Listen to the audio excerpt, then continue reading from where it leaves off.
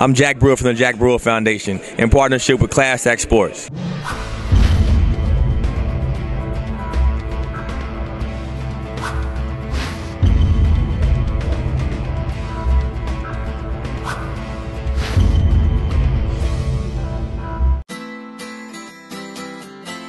Jared Ginsberg, Class Act Sports. We're here at the Oyster Bay Golf Course in Woodbury, New York for the Friends for Good Health and JBF Worldwide benefit. Let's go inside and check it out.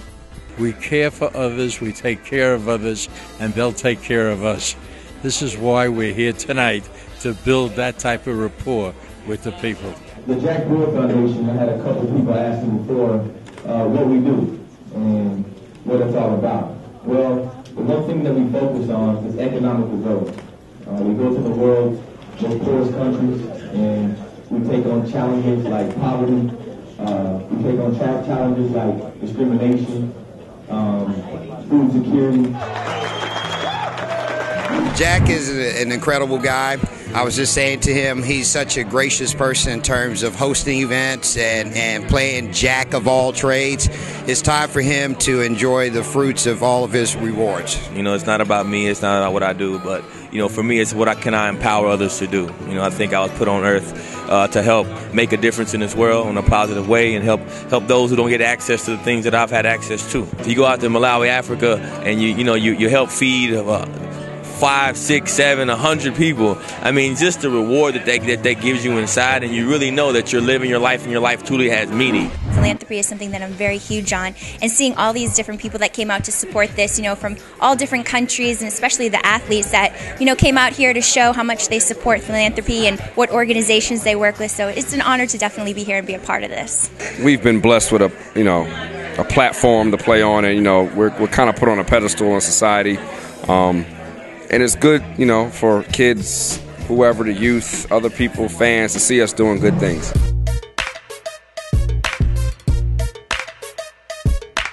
Not every country is as well off as you know the United States, and uh, you have to acknowledge that. And it's, it's nice to give back and you know, help you know countries that need. And what was that like, ho- hoisting Lombardi Trophy?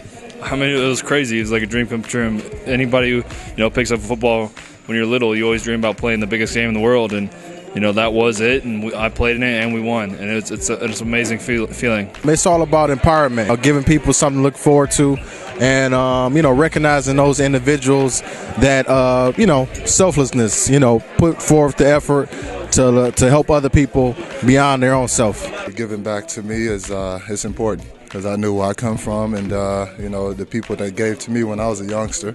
So uh, you know I'm just you know I'm just blessed to be here. We, have set tremendous goals to help uh, help the youth, uh, to help women, um, to help a lot of things, and uh, it's just a combination of guys getting together to see how we can utilize our celebrity to benefit others. Too much is given, much is required, and um, to take on the responsibility of being a role model, uh, you have to be in a position and carry yourself a certain way to build up the next generation. Today is Kenny's first day dressing, and we're going to watch him make a tie. They're having the athletes come in, and people have contributed for this dinner to pay for a humanitarian trip to Africa for many doctors to help poor, disadvantaged people. Uh, we do a lot of work in Malawi, Africa, and we just actually recently were able to solidify enough funds to ship a 40 foot container of medical supplies to our five medical clinics in Malawi. These athletes are involved in a lot of charities. A lot of time people don't know, they just know that they play football. But I happen to know them personally, and I know some of their charities, and I had seen their charity work they care about the people who don't have what they have.